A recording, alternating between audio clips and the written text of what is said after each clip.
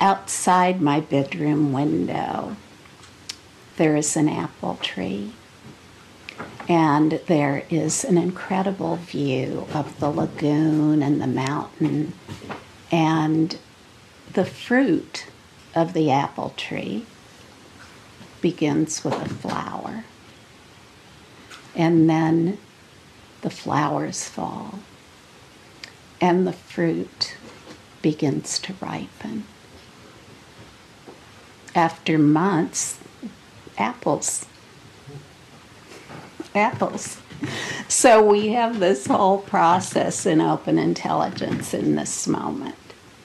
The entire process of introduction, the seed, the apple tree grows, the flower, the flowering of open intelligence, and the fruit, the experience and realization of open intelligence. And it is our practice that takes us to its fruition, fruition in each moment.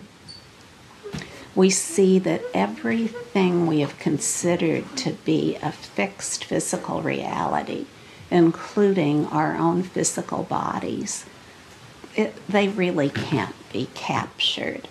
Uh, no totalizing concept can ever describe who we are. It's impossible because knowledge is fresh in each moment. The data that bring us the power of knowledge are fresh in each moment.